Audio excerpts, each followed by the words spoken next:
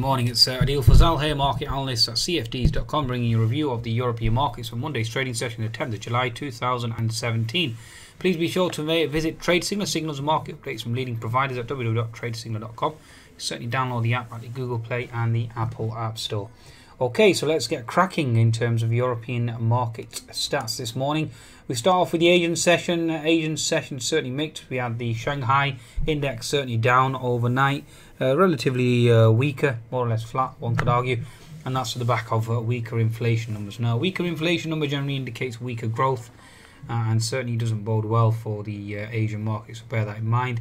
Having said that, the Nikkei certainly closed higher on the back of stronger US jobs report, although the wage growth certainly was slower. Okay, so bear that in mind. Hang Seng as well, finishing up 0.6%. Now that certainly has led through to a potential gap up on the uh, European indices as well. FTSE up 20 points, DAX up 60, French CAC up 17 points. FTSE maybe is higher, IBEX is probably the weakest out of the lot, okay? In terms of economic numbers uh, from the European session, uh, the one that we really are focusing on are German exports, imports, certainly stronger than expected, trade balance but stronger than expected, and therefore should technically help the euro. But the euro certainly under pressure due to the stronger, or euro USD certainly under pressure due to the stronger US jobs report thus far. So keeping the uh, euro just below 1.14, although it did push higher post uh, German trade data. Eurex, uh, uh, Sentix investor or European Sentix investor confidence certainly coming in slightly weaker. Okay, uh, Turkish industrial production as well coming in slightly on the weaker side. Uh, in terms of uh, economic data from Japan overnight, machine orders and trade balance numbers certainly coming in on the weaker side, although they did pledge unlimited QE, and that certainly is keeping the USD JPY above that 114 handle. Uh, keep an eye on the USD JPY though. I think that is going to be quite important going forward in terms of the uh, risk in this market. You certainly have, if you look at the uh, daily chart, you certainly have a potential double top or horizontal resistance now.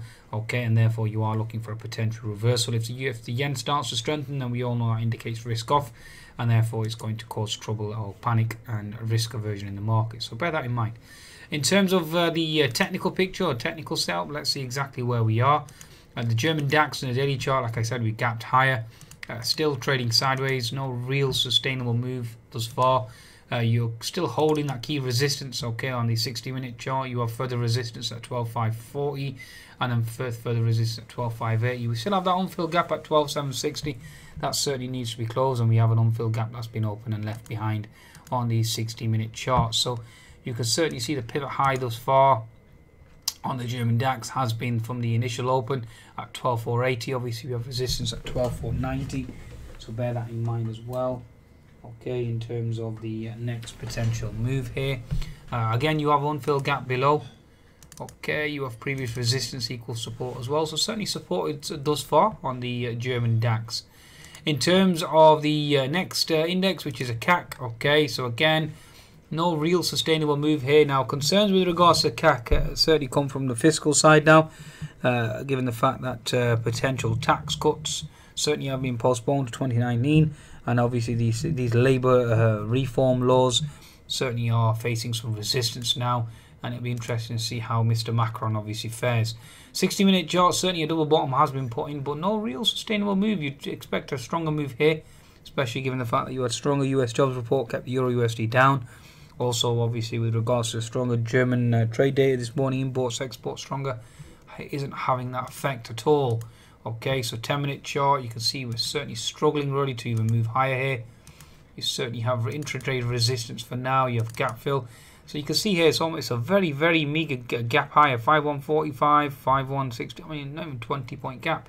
It's not exactly good news um, for the Bulls, let's put it that way, okay? So uh, if you were bullish, you'd, you'd, want to see a much more healthier gap. I mean, one would have presumed we'd have closed this gap by now at 5180, and even that's not being closed, so it's not exactly a good sign.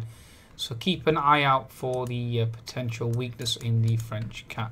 Okay, in terms of the FTSE 100, FTSE 100 certainly has gapped higher, but the gap higher itself has, has been vulnerable thus far. Okay, uh, the pivot high for the day has been 73.85 region and obviously the market's rejected that thus far and continues to reject it. Now the unfilled gap remains at 7350. We'll see whether we can close that. Further support below at 7335.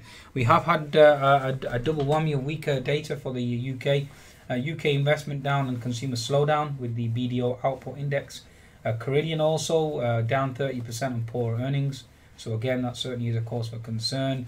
And uh, bear in mind, you have concerns over the US healthcare debt, apparently according to Mr. McCain, and Mr. Mnuchin signals a tax plan only going to last 10 years. So everything certainly seems to be watered down by these politicians.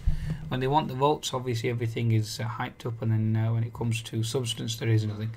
Okay, so that's where we stand with the FTSE. Uh, certainly looking for that gap to close below, especially given the fact that we have weakness in oil too.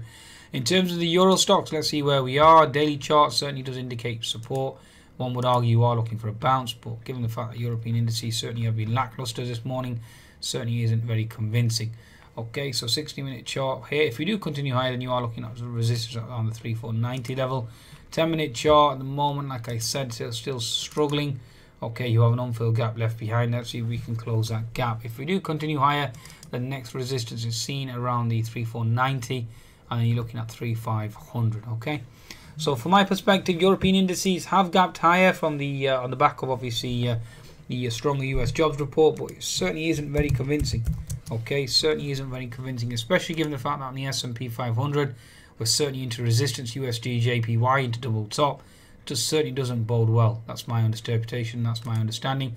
Especially on the uh, daily chart you can see we have gap fill at 2432 already trading at 24.30 as we speak. We have resistance at fib 75%, resistance at 24.28, diagonal trendline resistance as well, and it certainly doesn't look, bode well for the, um, the US indices, let alone the European. So keep an eye on that, and let's see exactly how which way the market turns. On that note, please be sure to visit cfds.com for your trading needs and certainly take advantage of the bonus. Goodbye now.